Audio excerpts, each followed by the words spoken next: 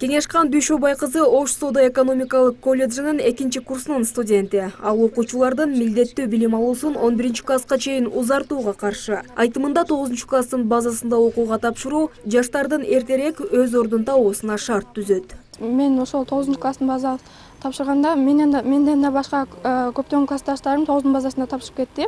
Алардын да жана биздин оюбуз эгерде биз тогузунчу класстан тапшырсак он биринчи класста азыр мектепте окуп жаткан э, классташтарыбызга караганда кыйла тажрыйбалуу болуп э, ошо шаарды көрүп өзүбүзгө мындай жакшы билим тажрыйба топтой алабыз да. Үйдө менден кийин дагы кичинекей эки иным бар. Мен эң улуусу болгондуктан кийин ошол мүмкүнчүлүк болбогондуктан тогузунчу класстын базасында колледжге тапшырып эртерээк окуумду бүтүп апама жардам берейин дегем. Ошондуктан бул тогузунчу он биринчи класстын базасында тапшыруу милдеттүү түрдө деген туура эмес деп ойлойм.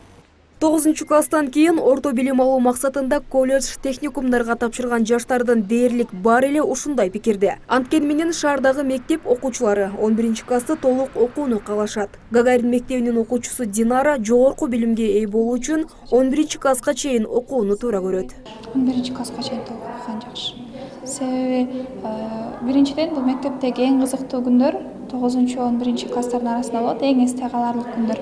А экинчиден чындыгында эле э, он бирди бүтүп окууга тапшырса э, жогорку окуу жайларга өтө алат да. Жогорку окуу жайларда өтүп бул э, жогорку окуу жайларда окуу деген бул келечекте жогорку мансаптагы кесипке ээ болуу да. А жогорку мансаптагы кесип бул ар бир эле адамга керектүү да азыркы учурда.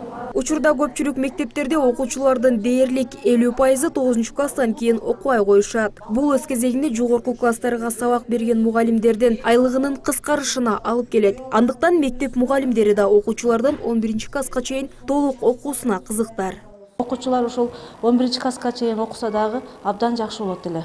Себеби акылы толуп андан сырткары э, жаш курагы дагы мынандай дал келет эле да жогорку окуу жайларына тапшыруугачы андан сырткары кесипке дагы багыт берүүгө дагы жакшы болот эле деген ойдомун. Анткени менен убакытты үнөмдөп эрте орто билимге ээ болуу бир топ жакшы дегендер да бар. Быйылкы жылы ош соода экономикалык колледжи тогузунчу класстын базасынан эки жүзгө жакын студент кабыл алды. Мындагы мугалимдер билдиргендей студенттердин басымдоосу контракттык негизде билим алышат. Анын эсебинен мугалимдер маяна алып окуу жайды оңдоп түзөө иштерин жүргүзөт. Ошол балдардан келген контракттын э, суммасынан э, биз мына өзүбүздүн республикабыздын бюджетине э, салым кошобуз көпчүлүк балдар ошол тогузду бүтүп ата энелерине көмөктөш болойлук жардам болойлук деп анан материалдык финансылык абалына байланыштуу көптөгөн мектептерде мына өзүңүздөр байкасаңыздар болот.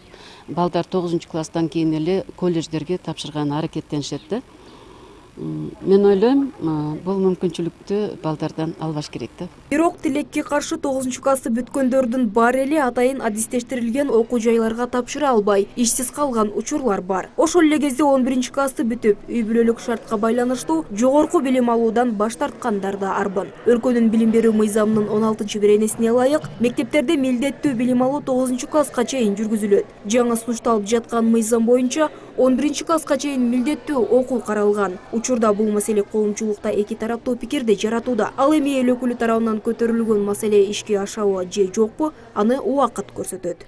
Айчурок каныбек кызы кудайберди дыйканов ош бирим жаңылыктары